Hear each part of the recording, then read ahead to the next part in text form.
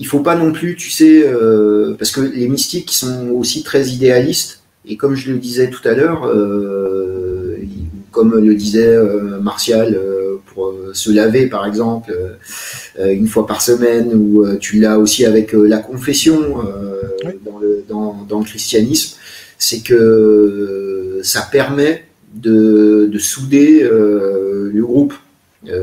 Pour, pour, le meilleur, pour le meilleur et pour le pire. Mais je, je, pense, euh, je pense qu'un des gros manques et une des choses qui fait la détresse de l'occidental contemporain, c'est aussi qu'effectivement, ce qu'on a perdu, c'est pas seulement l'aspect spirituel des choses, c'est aussi et surtout l'aspect communautaire. C'est-à-dire que autrefois, la paroisse, c'est pas que le lieu où tu pries, c'est aussi le lieu social et c'est aussi le lieu de la solidarité locale.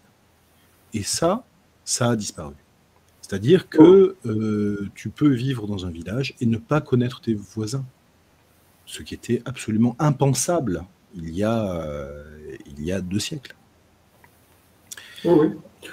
Et, euh, au Moyen Âge, les, églises, bah déjà, les, églises, c'était un endroit qui était ouvert 24 heures sur 24. c'est là, par exemple, où on, amenait les bêtes pour qu'elles soient soignées effectivement, euh, c'était un lieu de, vie euh, sociale. C'était comme, ce qu'on dit, l'église au centre euh, du village. Et je pense que, parce que je, vois ce que tu veux dire, Ralph, mais l'homme occidental, s'il n'avait pas eu justement ce le, christianisme, euh, on aurait on, aurait fini en tu vois les, les carnutes contre les arvernes, les machins. Enfin tu vois, on se serait euh, on se serait entretué, tu vois, on n'aurait pas euh, eu ah, des progrès. ça a été un élément unificateur à un moment donné. C'est voilà et, et, culturel aussi. Ouais, mais il n'empêche que c'est quand même une c'est quand même une spiritualité. Il y a quand même un fait unique dans l'histoire c'est-à-dire que le, jour où on a dit que cette religion n'était plus obligatoire, les, la plupart des gens s'en sont euh, complètement euh, détachés, comme un chat qui redevient euh, sauvage, quoi.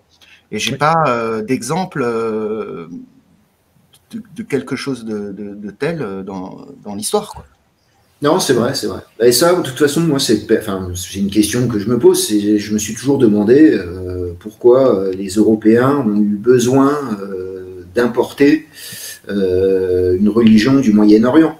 Qui, et ça, euh, et ça, franchement, j'ai pas la réponse parce que. Moi, enfin, moi, j'ai une réponse. Je sais pas si c'est la bonne, mais je suis persuadé que c'est ça. C'est que l'unité politique de l'Empire romain s'effritait et euh, cette unité politique administrative qui met des centaines, des centaines et des centaines d'années à mettre en place, le jour où elle s'étiole, il faut lui substituer une autre unité et tout ce qu'on a trouvé, c'était une unité euh, spirituelle qui était pas si mmh. compliquée que ça euh, à mettre en place et que euh, les, religions abrahamiques s'y prêtaient particulièrement bien. Et puis voilà. Oui, c'est politique en fait, hein, c'est rien de spirituel là-dedans. L'abrahamisme, comme on l'a dit, c'est une religion exclusive. Et donc effectivement, ça se prête bien aux empires. Tout à fait. ça, ça permet de tout d'un coup transformer l'opposant politique en pêcheur. C'est-à-dire que tu n'es pas contre l'empereur seulement, tu es contre Dieu, puisque l'empereur, il a été mis là par Dieu. C'est un outil de pouvoir absolument extraordinaire.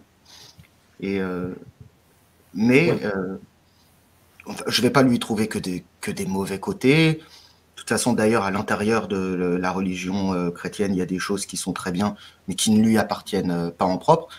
Mais il se trouve que euh, elle nous a laissé dans un, elle nous a laissé dans un vide euh, spirituel qu'il faut bien combler, qu'il faut bien combler. Et euh, je crois qu'il y a eu deux grandes tentatives pour combler ce, vide spirituel. Et bien que ce soit des écoles très différentes et très ennemies, finalement, elles ont toutes les deux apporté une même réponse. C'est l'école pérennialiste d'un côté qui, dit que le, qui dit que le monde moderne c'est Satan et qu'il faut euh, retrouver euh, l'ésotérisme. Et puis, euh, tu as le New Age de l'autre côté qui dit que le monde moderne c'est super et qu'il faut se bricoler sa propre religion. Donc en fait, les deux ont apporté une réponse individuelle au problème. Quoi. Alors, je rajouterai une troisième tentative, elle, se fait très très vite après l'abandon du culte officiel en France, ce qui est la tentative de création par Robespierre du culte de l'être universel. C'est-à-dire que euh, dès les premières années de la Révolution, on se rend compte que quand on laisse tomber le catholicisme, c'est le bordel. Et donc on va essayer de créer un culte bis avec la déesse raison, etc., euh, etc. une sorte de truc alliant euh, l'idéal des Lumières avec quand même quelque chose d'un peu cadré. Alors ça va se, casser la gueule très vite. Euh, mais voilà, très très vite, on se rend compte quand même que le, le vide est là, le manque est là.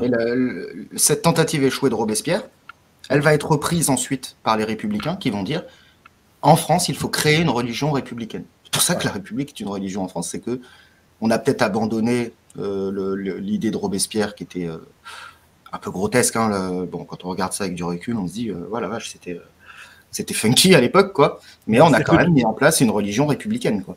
Tu, ne peux pas créer en deux ans quelque chose qui met trois siècles à se sédimenter. Ça, ça, ça marche pas. La greffe prend pas. Ouais, ouais, et la greffe, elle peut marcher, euh, pour, enfin, à mon avis, euh, par l'exemple. Et je pense que, euh, parce que ce qu'on dit là, c'est vrai, hein, quand on dit c'était une coque vide l'Empire romain et ils ont remplacé ça, mais ça se fait pas du jour au lendemain. Et pour moi, c'est vraiment le, le monachisme, c'est les moines qui étaient auprès de la population, qui donnaient l'exemple. On, on prêche par l'exemple, comme on dit. Et quand il y a eu l'arrêt des créations d'ordre monastique, c'est à ce moment-là, bah, c'est à peu près au début, à la fin du Moyen Âge, début de la Renaissance, c'est vraiment le début de la, de déliquescence de, la religion euh, catholique euh, en Europe, quoi. Parce que justement, les, gens du peuple, quoi, n'avaient plus de, modèle de entre guillemets de, sainteté. Euh, et après, c'est l'image du, curé avec un avec un gros bide. Enfin, c'est plus pareil, quoi je pense que euh, il aurait fallu des moines républicains hmm. pour que ça marche.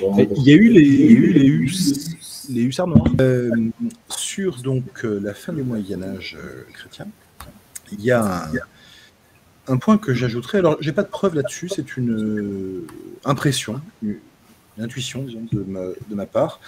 Donc, vous me pardonnerez si je me plante. Moi, j'ai l'impression que le le catholicisme reste euh, dans une dynamique de progression tant qu'il est en lutte. C'est-à-dire que euh, pendant tout le Moyen Âge, que ce soit les croisades au Levant, la Reconquista en Espagne, euh, les conquêtes des chevaliers teutoniques sur les païens dans le nord de l'Europe, le catholicisme, c'est une religion en guerre. Et c'est une religion qui est en permanence en, train de repousser ses frontières.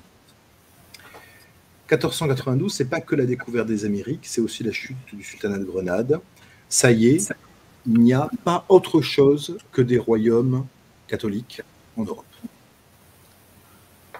25 ans après, Luther produit ses premières thèses.